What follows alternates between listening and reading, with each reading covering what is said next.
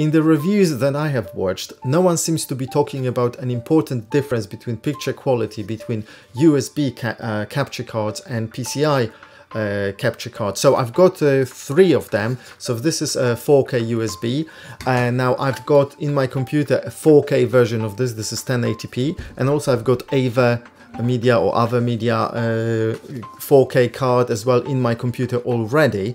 So um, quickly, uh, once because I have them now, I'm first want to tell you about physical differences very quickly. So uh, AVer Media is a much bigger card than uh, than this one, than uh, Elgato, and it's got this one. AVer Media has got um, LED, sorry, not LED, LED RGB lights, LED of course, yeah, and um, this one doesn't, uh, which, you know, each to their own. They're both kind of the same. I'm happy with uh, both of them. They, they, you know, I've had this one for only a short time, but it seems to be very good. Uh, the software that comes with them, uh, with either of them, is kind of okay. I, I still prefer OBS Studio.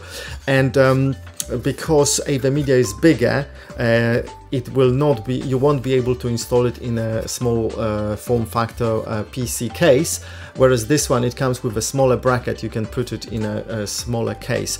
Uh, the other thing is, um, uh, this one has got those, so, so it comes uh, to a computer, let's say this way, uh, and then this one has got those connectors here, whereas AVerMedia a bit further actually here, which uh, doesn't make too much of a difference for probably 99.999% of people, but for some people it might. Okay, and obviously USB is USB, so nothing to discuss. Okay, le let me show you the difference in picture quality.